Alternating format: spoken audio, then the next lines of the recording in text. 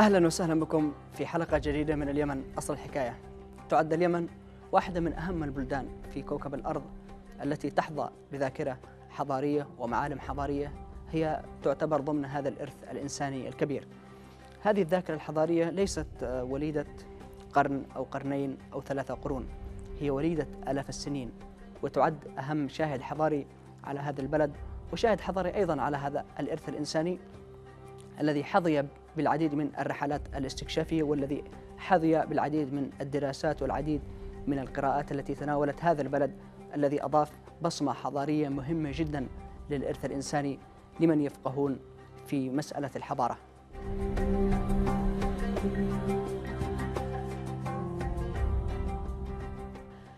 ارتبط مصير الحضارة اليمنية وازدهارها وانهيارها بمدى قدرة الدولة والنظام السياسي باستثمار موقعها واستغلال موضعها الجغرافي. وكذا الإدراك للأرض الحضارية وللذاكرة الحضارية وسمات الحضارة اليمنية واستعادت اليمن كأمة حضارية لها مكانتها بين الأمم. تكتسب الآثار في بلد ما قيمتها من كونها نتاج حضارة عريقة أسهمت بنصيب وافر في بناء الحضارة الإنسانية عموما. وهي تضع تراثا إنسانيا ينبغي على كل شعوب العالم بلا استثناء المشاركة في العناية به. والمحافظة عليه الآثار اليمنية هي شواهد مادية على فترة حضارة ازدهرت عبر مراحل مختلفة من تاريخ اليمن الذي يمتد لآلاف السنين من أهمها السدود، القصور، المعابد، المعالم الحضارية، الأسوار، التماثيل، المساجد، القلاع، الحصون والعديد من المنارات الحضارية. توجد أهم المواقع الأثرية لفترة تسبق الديانات السماوية اليهودية المسيحية الإسلام. تركز في السهول وفي الوديان وفي أطراف القيعان الجبلية. من المرتفعات الوسطى الحدا ورداع والبيضاء وغيرها إلى حمير التاريخية إلى سبأ إلى حضرموت إلى قتبان إلى معين والعديد من الممالك اليمنية القديمة.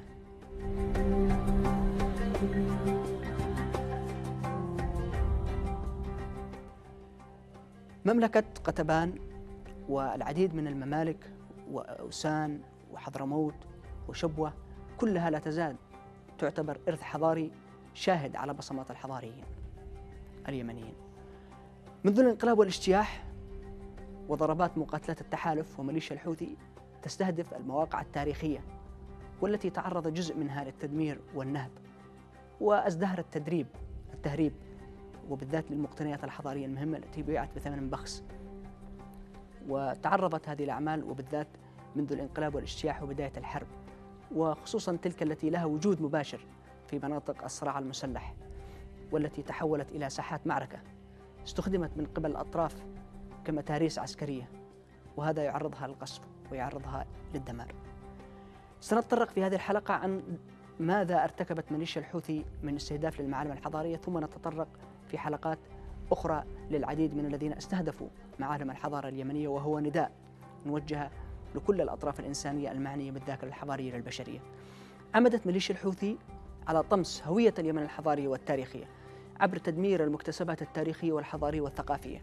منذ سيطرتها على البلاد في الانقلاب والاجتياح عملت على تدمير ممنهج ومتعمد للكثير من المعالم الحضارية والتاريخية. وضعت بعضها متارس ومارست أبشع أنواع الانتهاكات التي يحرمها القانون الدولي الإنساني والأطر القانونية التي حمت الإرث الحضاري للبشرية. خلال فترة الحرب التي لا تزال مستمرة حتى هذه اللحظة حولت ميليشيا الحوثي معظم المعالم الأثرية إلى ثكنات عسكرية. واتضح التدمير والتفجير والنهب للآثار حجم العدة التاريخي للهوية الحضارية اليمنيين وبالذات تركزها في تلك المناطق وتحويلها إلى ثكنة.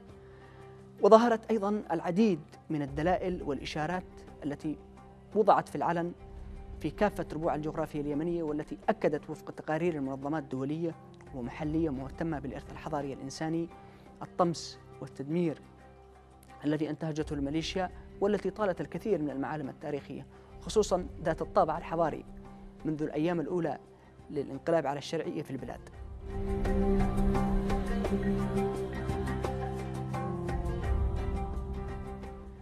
العديد من الإحصائيات تناولت وتطرقت لهذه لهذا التدمير الذي طال معالم الحضارة اليمنية والتي وضحت انتهاكات الميليشيا طيلة ثلاث سنوات. ووفق تقريبات إحصائية مضت يعني نحو حوالي 75 آه، ما تم رصده من من دمار تم إلحاقها بحق المعالم الحضارية والمعالم الأثرية في اليمن. تنوعت بين التدمير النهب القصف. توزعت أيضا هذه الانتهاكات بين 12 انتهاك. وتركزت في العديد من المحافظات من بينها محافظة تعز آه، ثمانية في محافظة مارب سبعة في محافظة حجة وستة تم استهدافها وطالت معالم حضارية في محافظة الحديدة و15 تدمير توزع بين خمسة في محافظة الصعدة وعدن وكذلك أمانة العاصمة. وثمانية من الاستهدافات تقاسمتها محافظة الجوف ومحافظة إب بالمناصفة وثلاثة استهدافات في البيضاء وثلاثة مماثلة في صنعاء. كما تم الاعتداء أيضا واستهداف معالم حضارية وتاريخية في محافظة شبوة وفي محافظة عمران وفي الضالع وذمار وصلت إلى ثمانية استهدافات توزعت بين من دمارين طال كل محافظة أي بمعدل معلمين حضاريين في كل محافظة. وسجلت أيضا محافظة لحج وأبين دمارا واحدا لكل محافظة استهدف أحد المعالم الحضارية فيها. سنتطرق في هذه الحلقة إلى نماذج من استهداف المعالم الحضارية اليمنية. ونتحدث عن الكثير من المحافظات والاستهداف التي طالت هذه المعالم الحضارية وسنبدأ في هذه الحلقة في تعز. في تعز تم استهداف قلعة القاهرة. تعرضت قلعة القاهرة وهي أحد المعالم التاريخية في محافظة تعز إلى قصف مكثف ومستهدف من قبل الميليشيا بعد أن كانت آه، يعني قبل تحريرها من قبل الجيش الوطني وتحويلها إلى ثكنة عسكرية وتعد قلعة القاهرة واحدة من أهم القلعات التاريخية في اليمن. تقع على السفح الشمالي لجبل صبر يقدر ارتفاعها بحسب الإحصاءات بحوالي 1500 عن سطح البحر. بناها طبعا بحسب المرويات التاريخية السلطان عبد الله بن سلطان آه، الصليحي وفي النصف الأول من القرن السادس الهجري. وترجح مصادر أخرى أن زمن بنائها كان إلى ما قبل الإسلام. الجيش الوطني كان قد حررها في منتصف أغسطس في العام 2016 وتم استعارة القلعة وتحريرها من الميليشيا. ومنذ ذلك التاريخ والميليشيا تقصف القلعة بشكل شبه يومي بكافة أنواع الأسلحة الثقيلة. المعلم الحضاري الذي تم استهدافه أيضا من قبل الميليشيا في تعز هو قصر سالة وهو في ذات السياق حولت الميليشيا قصر صالة التاريخي إلى غرفة عمليات لها وإلى مخزن للأسلحة في توجه متعمد إلى تدمير ونهب هذا المبنى التاريخي الذي تقول المرويات التاريخية أنه يعود حقبة الدولة الرسولية التي كانت تتخذ من تعز عاصمة لها. المعلم الثالث وهو معلم ثقافي وهي مؤسسة السعيد للعلوم والثقافة وهي من أحد المعالم الثقافية الحديثة. تعرضت أيضا هي للتدمير وللقصف من قبل الميليشيا وخصوصا ذلك القصف الذي طالها في مساء الاثنين تاريخ الحادي عشر من شهر يناير من العام 2016 وهي المؤسسة التي تحتوي آلاف المخطوطات والمراجع العلمية والتاريخية المختلفة وتعد مرجعية ثقافية والتي كانت أحد أهم منارات الثقافية واليمن بشكل عام. حيث أنها تحتوي في مكتبتها على نحو مليون عنوان في شتى الجوانب بحسب المرويات وبالذات العناوين العلمية والثقافية والأدبية. جزء منها تعرض للتلف والاحتراق بعد قصف الميليشيا لها وأدى القصف أيضا لاحتراق منتدى السعيد الثقافي بالكامل. المعلم الرابع الذي تم استهدافه وهو المتحف الوطني في تعز وهو أيضا استمرار للجرائم الميليشيا في استهداف معالم وتراث اليمن.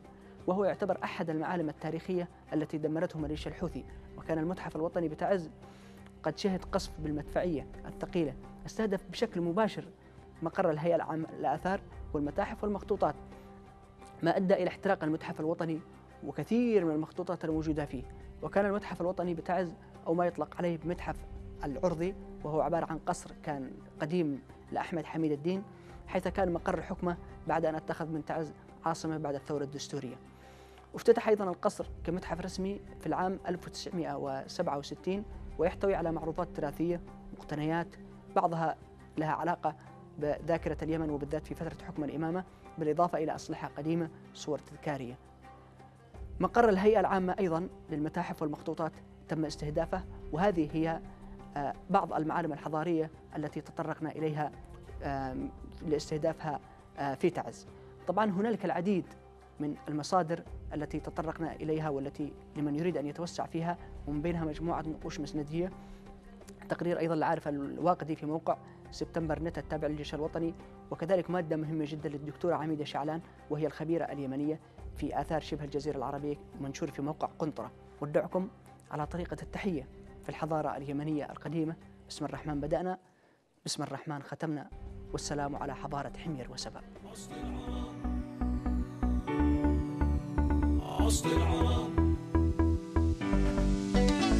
أنا يمني واليمن أصل العرب. قوات التاريخ مجد أبطالها. أمجاد مكتوب